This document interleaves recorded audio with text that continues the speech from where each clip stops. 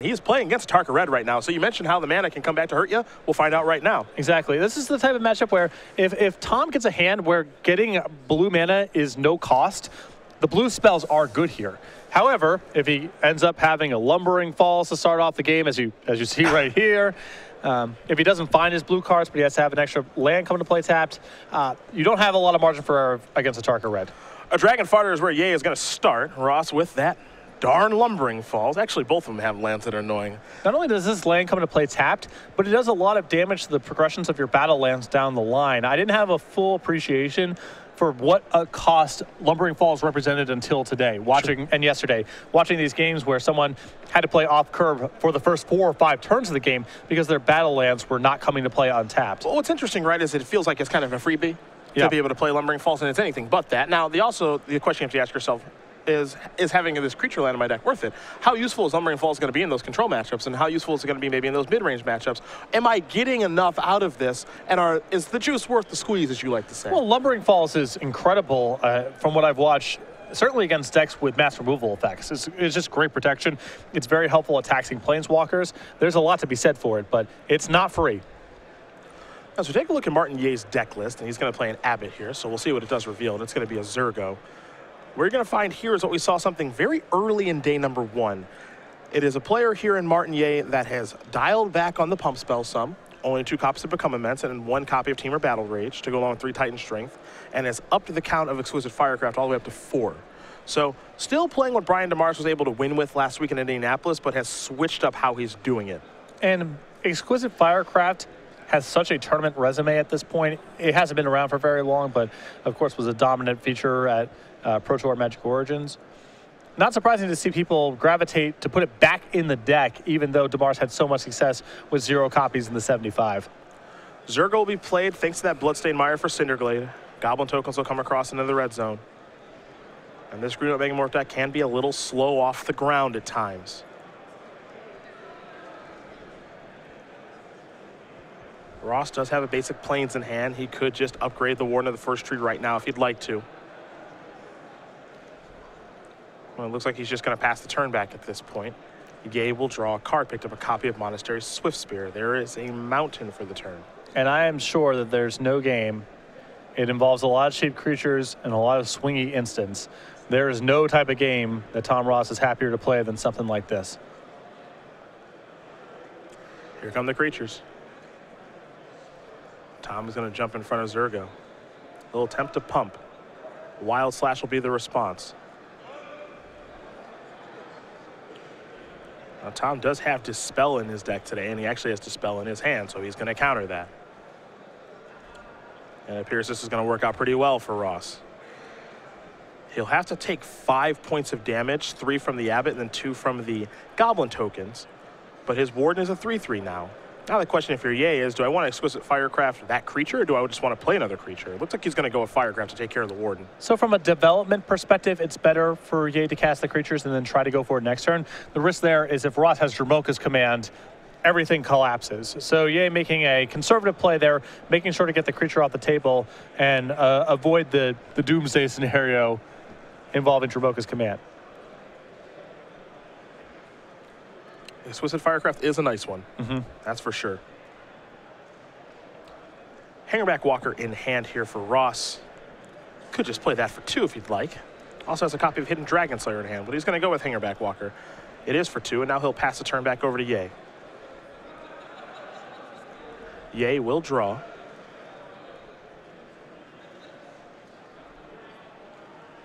And it looks like he's got a Monastery Swiftspear.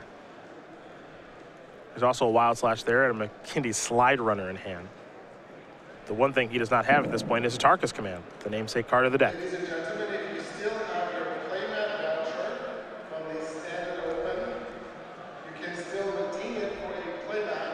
Wild Slash will take care of Hangerback Walker. Thopter's on the way. Keep in mind prowess triggers, of course, for the Abbot and the Swift Spear. Here are the attacks. We'll see how Tom would like to block. At this point, he can basically cross the Atarka's commands off, off his list, I think. I don't think there's any way if Martin has Atarka's command this turn that he would be able to beat it. Mm -hmm. So you just say, okay, well, if you have that, I, I lose. But, you know, I'll assume that you don't have that, I think is his plan here. Exactly. It's just going to be way too much damage. It's going to make his blocks way too bad, no matter how he blocks. So just act like it's not there.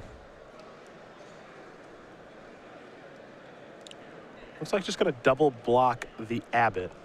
So that'll take care of that. He'll end up taking four slide runners to follow up past the turn. Yay is empty-handed. Ross is the one with the cards. The question is, can he get him out of his hand? I was thinking about going down to seven from the flooded strand, but eh, maybe he will, maybe he won't. Now he will. I think all of the creatures in hand are are megamorph creatures. So can't really avoid it. One of them is a hidden Dragon Slayer, and lifelink is pretty important at this point. He'll play that face up. He'll play Den Protector face down. And now he'll pass the turn back. Yay will draw.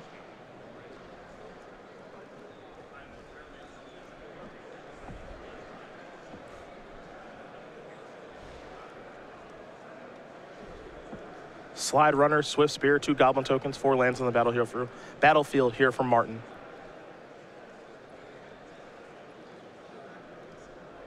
Big question is, what was the draw step? A lot of good draws here available for him. A fetch land's not bad at all. It's oh. still tough for him to do much in terms of attacking. I suppose with the fetch land now, he has a 4-3, he can attack into Hidden Dragon Slayer. Now you see he's trying to figure out exactly how Tom would block if he attacked with everything. Or if he attacks with anything. And he will attack with everything.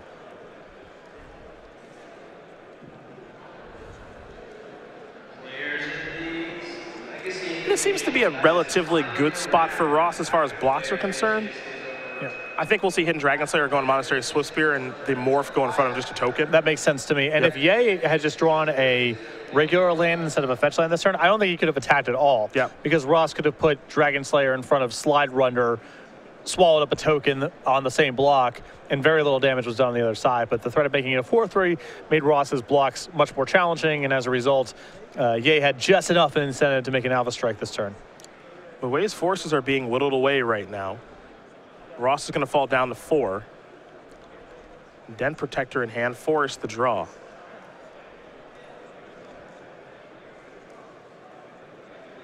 You do wonder exactly how Ross wants to use that Den Protector that's on the battlefield as well as the one in hand.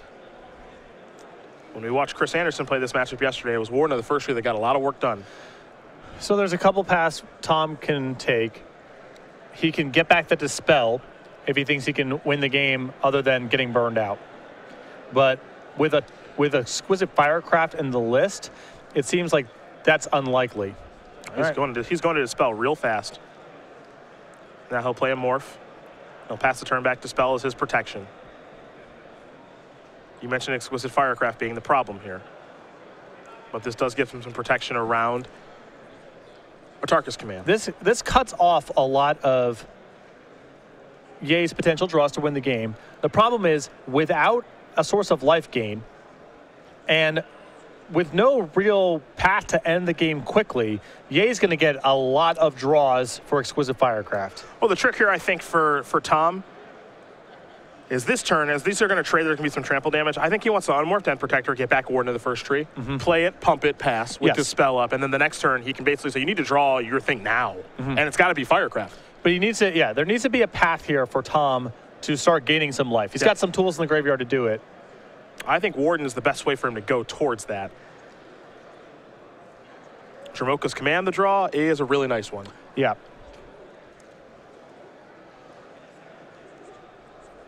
Now he's got some more things to reevaluate. And it's possible now with Dromoka's command that Hidden Dragon Slayer becomes more attractive as uh, it's more mana efficient down the line than Warden is.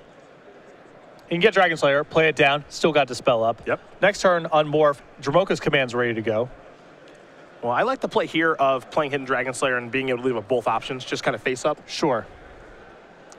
Not as it's not as sexy, but one thing he can do is maybe say, okay, I'll Dromoka's command, uh, put a counter, fight your creature, get life there, And go then even five, and and then then if Exquisite Firecraft is the draw, Yep. he's short. Yep. But the nice thing here is because exquisite firecraft is a sorcery, he can make this Dromoka's command play now, put a counter on my creature, fight your goblin.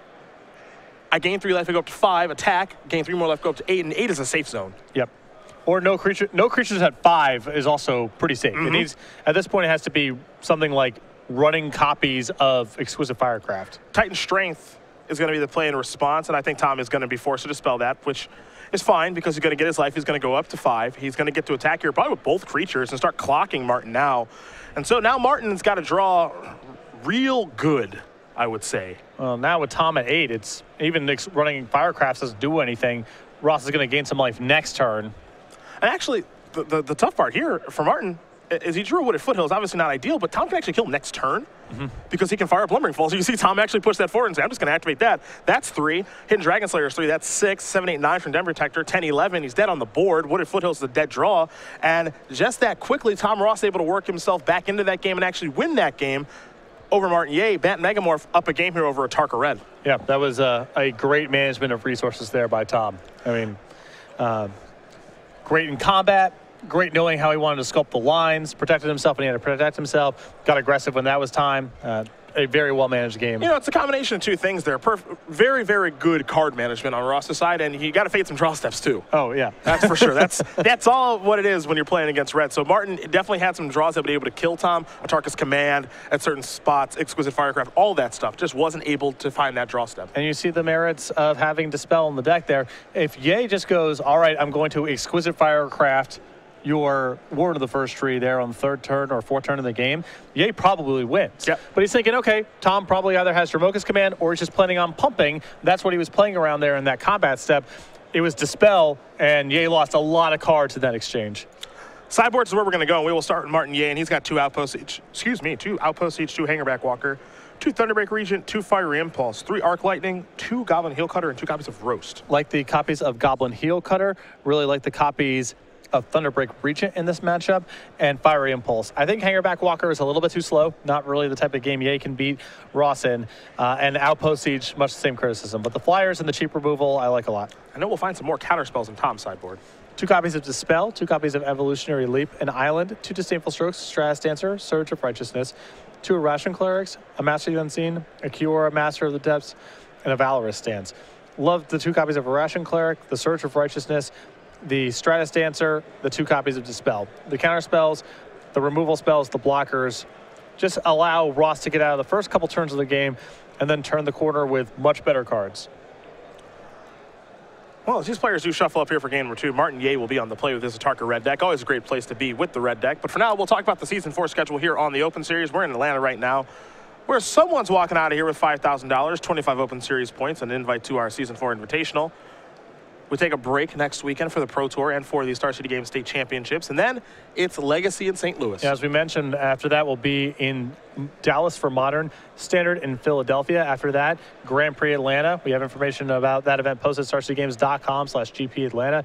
A Standard Open in Kansas City, Legacy in New Jersey, a Standard Open Series event in Denver, and then the Season 4 Invitational, Las Vegas, Nevada, Standard and Modern as the invitational formats with a two-day $20,000 Standard Open Series event December 11th through the 13th. And then a week later to close out the year, Players Championship, Roanoke, Virginia, Star City Games headquarters, December 19th and the 20th. And of course, for all the main events that do take place up until December 5th, you'll be able to get the Hoppin' Rabbit Master playmat. There's bunnies, there's bombs, there's carrots. It's a play on Goblin Rabble Master, of course, Magic players' favorite goblin. That's And- not true. Yes, it is. That's not true. I would know more about Magic players and goblins than you. Everyone is either a goblin, goblin lackey person or a Mog fanatic person.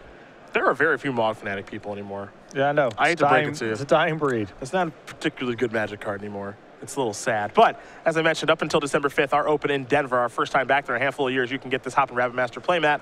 So come to the main event. It's pretty simple stuff. You sign up, you get one.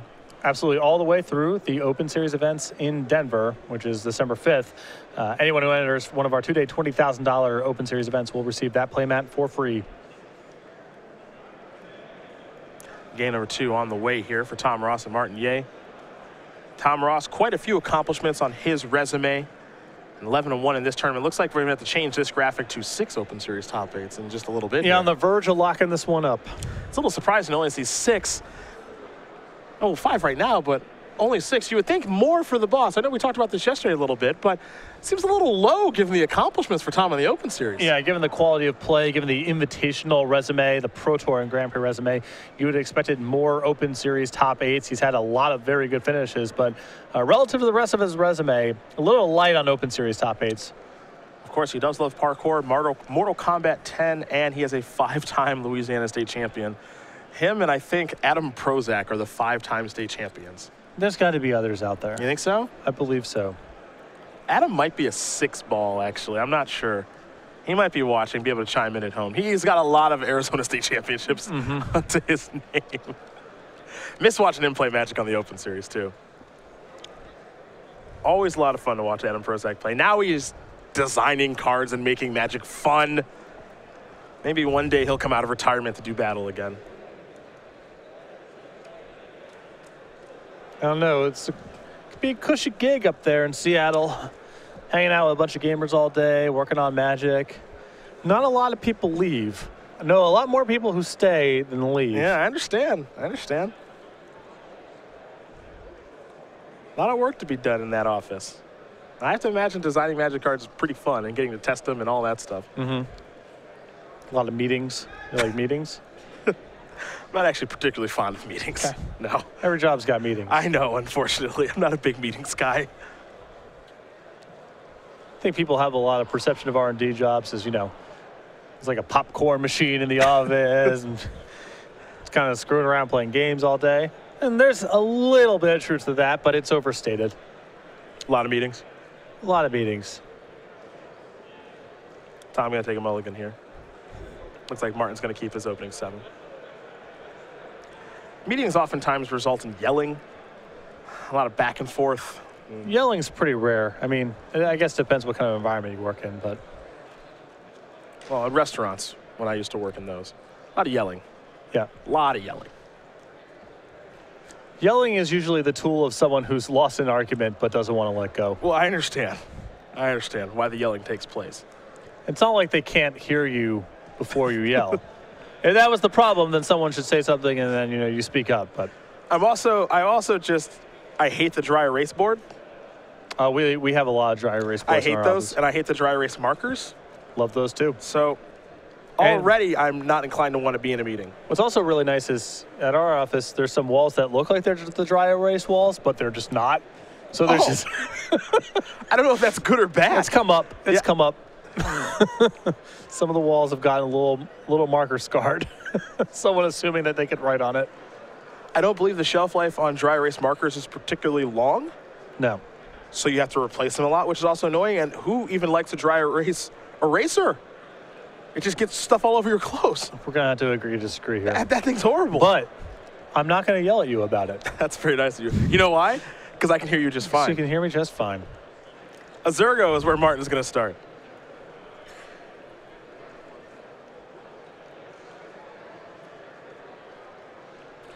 Tom did keep his six, but he's already under the gun. Looks like he's going to start with a wooded foothills and simply pass the turn back. So he'll be falling to 18 from Zurgo here in just a moment. We'll see if Martin can make it more than that on his second turn. Looks like it'll just be two. Wooded Foothills is the land here for Yeh. He'll sacrifice that. Go down to 18. We got a mountain on the way. And we'll see what's next for Yeh. And yes, I've been waiting to do that the whole match. Just been just been sitting here trying to figure out when you had a shot. Drop that one. Yep. The slide runner. Todd will sacrifice that wooded foothills. He's going down to 17. We'll see what land he wants to get. He's going to go with Canopy Vista. I'm getting some throwbacks to my my Open Series event in New Jersey a couple of years ago. Guide into play GOP, and now we are with Zurgo into Makindi Slide Runner. Not It- quite the same thing, but It feels relatively similar. pretty close. Yeah.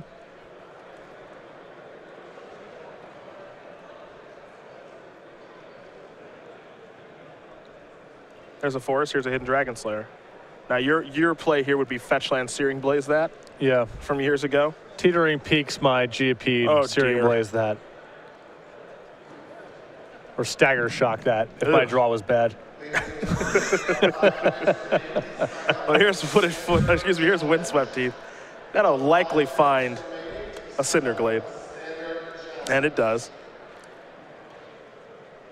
You can get a trigger there from the slide runner. Our trail, one to that, two to you. Whatever. A lot of different You can- ways A you can couple routes you can go. Yeah. A couple routes you can go.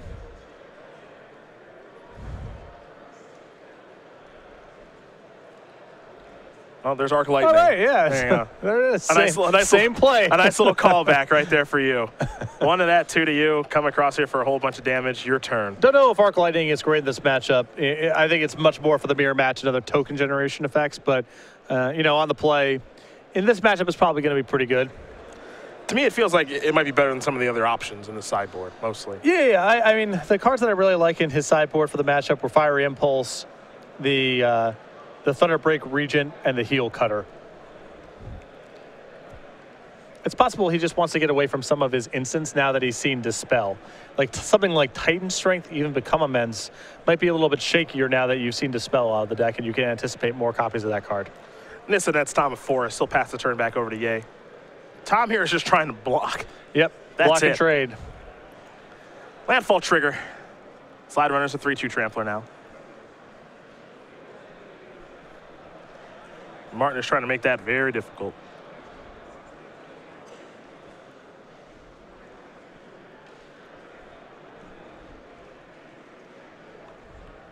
Here come the beatdowns.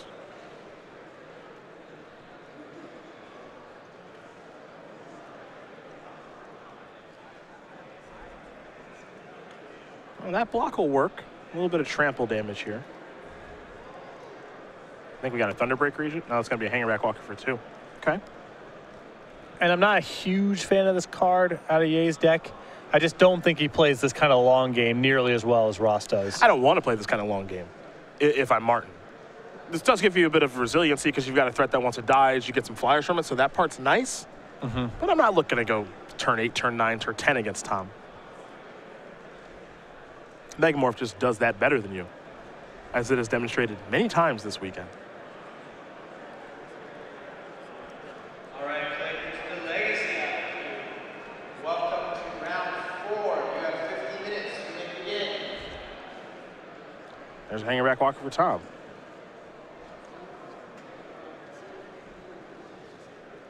We're going to go Martin's way. Hangerback Walker, the draw for him. Looks like he has a Swift Spear to play. And I believe a Dragon Fodder to follow it up with. So that'll trigger the Swift Spear's prowess. And now here are your attacks. A little surprised not to see Hangerback Walker come in here. I guess Yeh's logic here is he got the mana left over to, to pump into the hangerback walker. Going that wide, I would have preferred to get Tom down to one this turn, I think. And then you have four creatures in play against two, and Tom needs to do a lot to not die.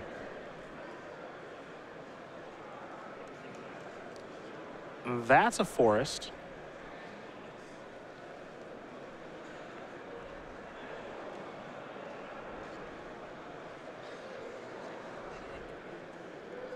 A lot harder for Yeh to deal three than it is to deal one, Yeah. especially when you have that large of an advantage in, in creatures in play.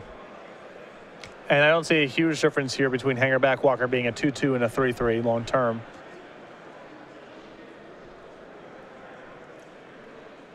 Tom does have a copy of Stratus Dancer in hand at this point. Warden of the First Tree, Den Protector as well. He's just really gummed up on the things that he can do at this point. All those cards quite powerful, but he needs a lot more mana to be able to actually use them all.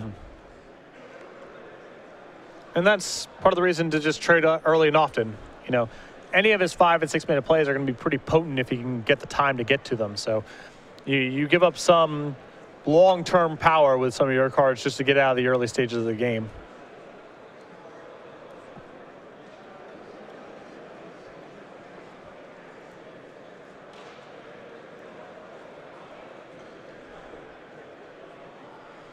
Now, Tom can just dump his whole hand on the table there, but that doesn't seem like he's getting enough out of everything.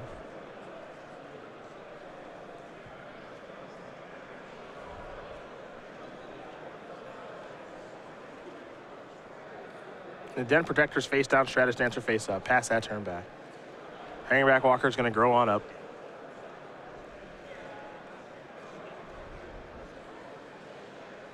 And that's an Atarkas command. So that'll just make it real easy. That'll go upstairs with Ross at three, and Martin Yeh is going to win game number two here over the boss. Atarka Red, Bant Megamorph getting ready here for game number three. Fortunately for Tom, he'll be on the play against the Speedy Red deck. And you can see uh, what that deck is capable of doing on the play. Tom was able to block pretty early on in that game. It's not like his draw was that slow, but uh, he never got to make the profitable exchanges that you saw in game number one. He never got to blow Martin out in combat, and uh, slowly but surely, Yeh was able to chip out, chip away. So Yeh wants to take a look at Stratus to make sure he knows exactly what that can do. It's pretty powerful in this matchup, honestly. It's another one of those cards where if he's able to get to five or six mana in a comfortable board, it's a piece of the puzzle locking the game up. But early on in the game, it's uh, not much more than something to, to hopefully trade with one of Yeh's cheaper plays. Well, as these players shuffle up for game number three, we're talking about the Star City Games newsletter. It's your source for Magic the Gathering news, and it's very easy to sign up for. All the finest information about Star City Games, both the Open Series with an update from what happened in the previous week's Open Series event, with a suggested match of the week for you to watch, and exclusive deck lists and advice from several premium columnists, and exclusive cardboard crack comic. Best of all, signing up is free over starcitygames.com slash newsletter. We've seen the Boston newsletter before. We see him now here in game number three, looking to lock in another Open Series top eight to place on his resume. Two invitational top eights here for the boss. He was able to go back to back last year. Pretty impressive stuff for Tom. This year's been a little bit different for him as he's kind of dabbled around a little bit. You know, I think part of the reason he was so successful last year is that people didn't take red decks as seriously as they do now. Yeah. But you saw Tom in 2014 and uh, a couple standard Pro Tour wins in 2015, and now perception's a little bit different. And, you know, I, I, I can appreciate as well that when Tom was taking advantage of how good red was and people didn't notice, and now he's basically said, I like to play red when people don't think it's good. Mm-hmm. And now I think a lot of the world has realized that red is pretty gosh darn good, and so Tom is kind of staying away. And I think a lot of credit goes to R&D for creating. Uh, I think they've done a much better job of creating a world where all the decks are pretty close to each other in power level, and people can kind of just pick what they like. Uh, red decks were, you know, very popular over the years, but just lower in power level than the good blue stuff or the combo decks of, of various extended, even standard formats. And now the red cards are about as good as the blue cards are, and the green cards are, and the white cards are, and that just hasn't been uh, the case in much of Magic's history. Uh, a, a, little peek at Vintage and Legacy would suggest that there was a slight misbalance in some of Magic's earlier years. Perhaps. I mean, even modern, I would argue blue's the best color there, even with several power level bannings to blue cards. So it's taken some time, but I think they do a much better job now of getting all the colors to be pretty close to even. It's going to be some formats where it's different, and you know some meta games where it's different, and odd cards are going to slip through the cracks. But on the balance, I think they do a very good job with it now. Well, things will always improve over time. I like to imagine. I do agree with you. I think they do a better better job with it overall. Yeah, like Atarka's Command is a serious Magic card. Absolutely. You know, the red decks aren't playing with volcanic hammers and you know Yamabushi's flames. Yeah, Hearth Kamis. Not that anyone would ever do that. Firebrand Ranger with no green mana in the deck, and yes, that was a thing before you ask. Boros Guildmage, no white. Right. Just not little, like that anymore. You're not scraping the bottom of the barrel. A little callback to some of your better days. Mm-hmm. Now, were you playing Yamabushi's Flame and Yamabushi's Storm? No, I didn't have the Storm. Oh, that's too bad. Storm didn't hit players, so. oh, one way. Yeah, one way. Going upstairs. Yeah, bonus points for burning your opponent out and also exiling them at the same time. Boom. Original achievement unlock card for that? Disintegrate. Ah. Removed from the game entirely. You. I believe is the alpha template, if memory serves. There's no memory you were ever a part of this. You are gone forever. If you're playing pickup games in the basement, you have to go find someone else to play because you've been removed from this game entirely. Disintegrate used to have some nice wording, I must say. Alpha cards are a delight. Yeah, they really are. Canopy Vista here for Tom. He's down to 19 from the Wooded Foothills.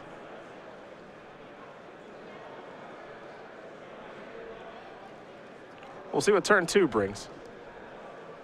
Remember, he's paying a little bit of a cost here with this small splash of blue. Feels free. Sometimes it is, but not in this matchup. Hangerback Walker for one, not a bad start though.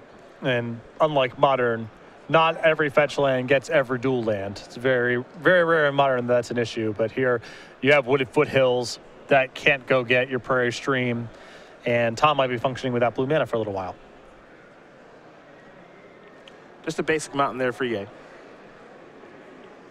Windswept Heath the draw. There's a second mountain, and now he's got a hangerback walker too. Ross picks up a plains. Sometimes I watch some of the mid-range games, and hangerback Walker feels a little overplayed to me. Eh, low impact and kind of easy to work around. A lot of removal, exiles, et cetera, et cetera. And then you watch the red matchup, and you go, "Never mind, can't cut these." Yep. just it's just so good against decks like this. It's very necessary in this matchup. Swiftspear the draw. Two hangerbacks is just a pain for Martin to get through. There is a chance that Yeh will not deal combat damage this game, and it's just off this opening. Yeah. It's actually quite true. Being on the play and having hangerback walkers might just be enough. And Tom, commonly playing decks like Atarka Red, knows how dire the situation is for Yeh already.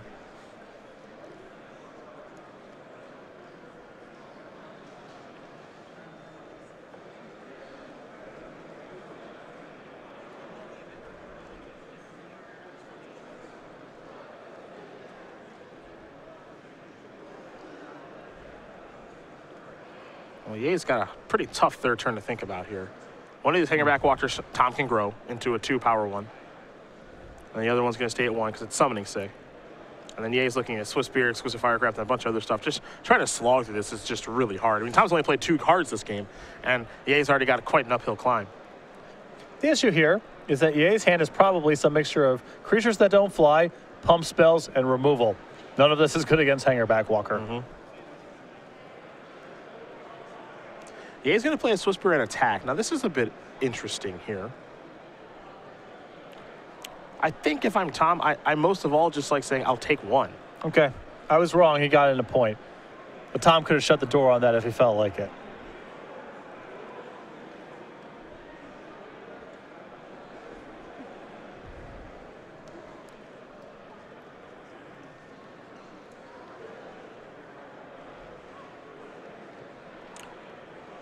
Tom gonna, excuse me, Martin's gonna sacrifice on Windswept Heath. Tom in response is gonna put a counter on the Hangerback Walker.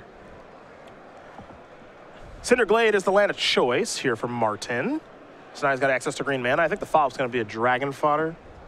Well, we will find out soon enough. He's trying to go wider on Hangerback Walker, which is a way to do it. It's tough though. Ross will draw. Picked up a plains for the turn. A big issue also, it only gets worse.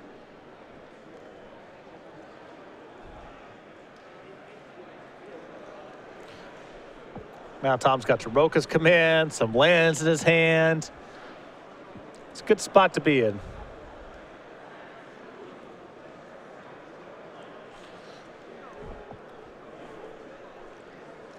Tom kind of surveying the board here a little bit. See how he wants to move forward against Martin. It's just going to be a Deathmist Raptor with a single mana available. So Ross in that spot had the opportunity just to say, all right, I'll go. I'll, I'll let you have the turn. I got Dromoka's command. I got lands to grow my hangerback walker. I think Ross understands that the easiest way for him to lose this game is for Yeh to go around his hangerback walkers. And so Ross, if he feels it's a safe enough spot, wants to get some creatures into play to make these alpha strikes with five or six creatures more complicated for Yeh. The more complicated, the better. Exquisite Firecraft going to go after Death Miss Raptor. That'll bite the dust. Swiftspear is now a two power creature, and here come the attackers. We saw this attack last turn. A little bit different this go around. It looks like Titan Strength might be involved here on Martin's side.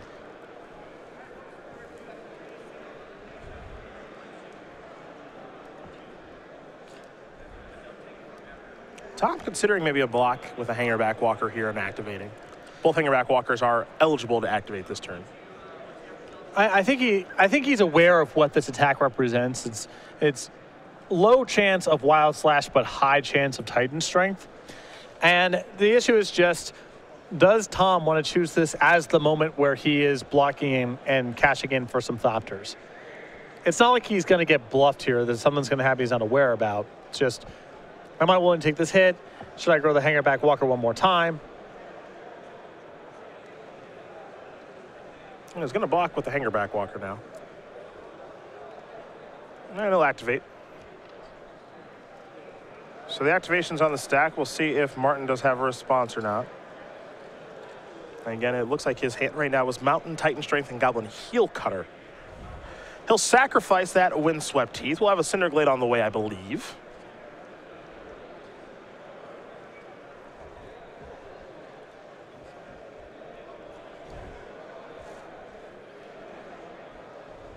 And I think we'll see that Titan Strength that we mentioned.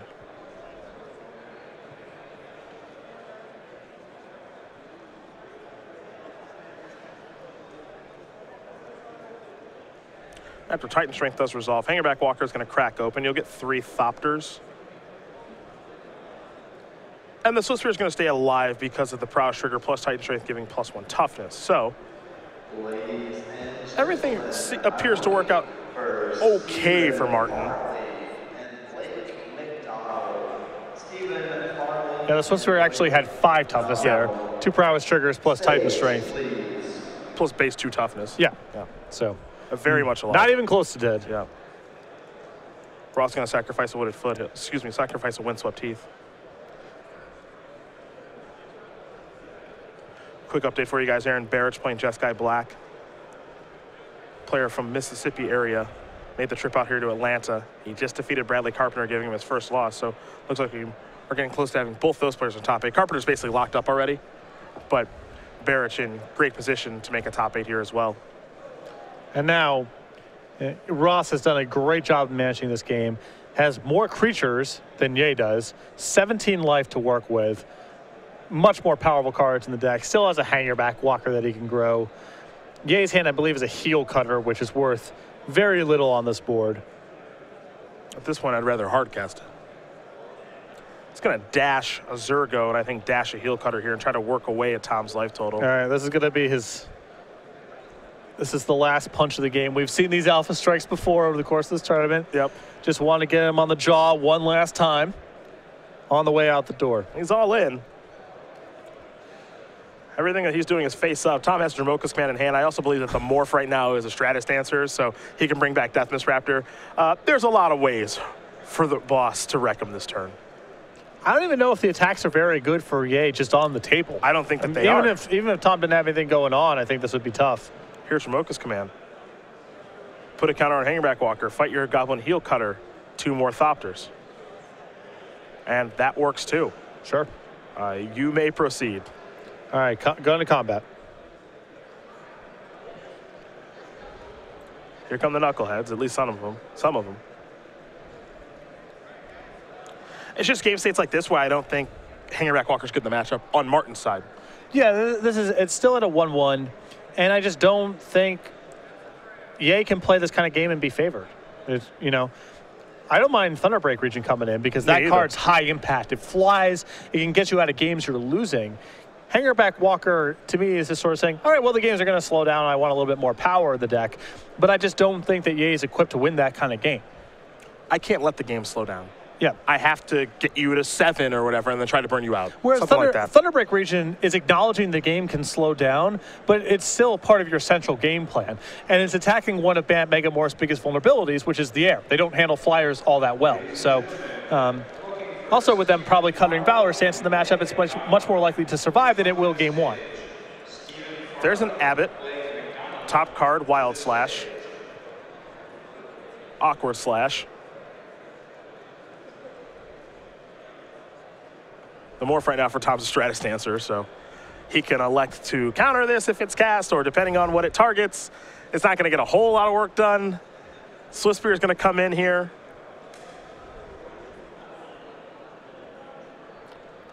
I'm guessing this is going to be a no blocks.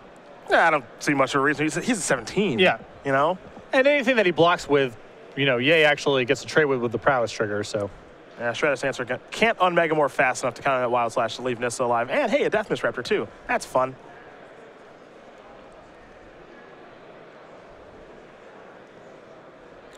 The boss will untap. It's time to draw. Picked up a copy of Den Protector. All right. And th- these are just the kind of spots when you get into a mid to late game like this where this Megamorph deck just flexes its muscles because there are no bad draws. yeah, he even can do stuff with lands. Yeah. Even his, even his lands are totally fine. He draws a land, he gets to flip Nissa. He draws a Den Protector, he gets to return Dromoka's command. Morphs, uh, Warden, even your one drop is He good on turn back seven. He can get back land number seven and flip Nissa if he wanted to. Yeah. There's a lot of good lines of play.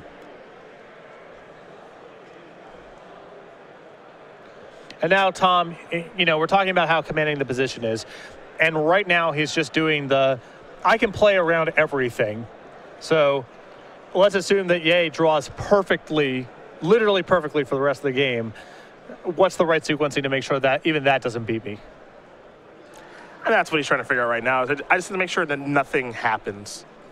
Close all the windows. You know, what's the, what's your best top deck? What Thunderbreak Regent maybe? All right, I want to make sure I don't lose to that card then.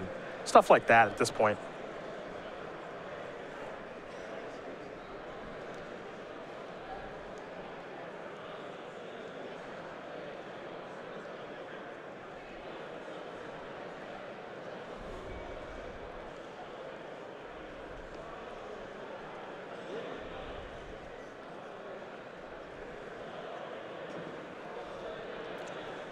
Ross will untap. He'll draw. I think it may have been another copy of Nissa. Like a hanger walker. Yeah, one of the two. Both not particularly fun to play against.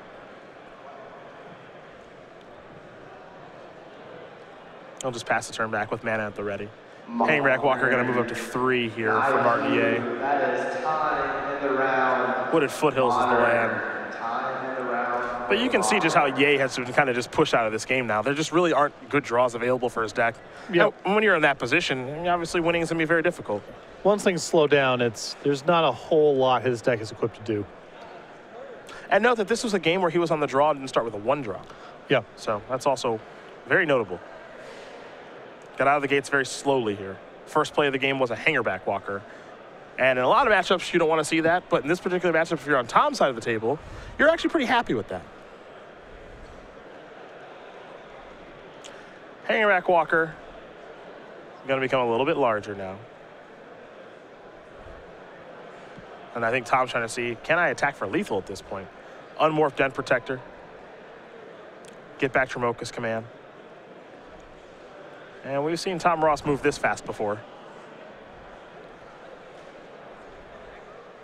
Everybody's coming into the red zone. Some blocking to be done here potentially. Yeah, it's lethal unless Yeh has help. He does not, and Tom Ross is going to win this match here over Martin Yeh. Two games to one. Bant Megamorph will take care of Atarka Redden for the boss. He's 12 and 1. You can lock it in. He's in the top eight now. Two losses will not knock him out. Congratulations to Tom Ross and adds another Open Series top eight to his resume.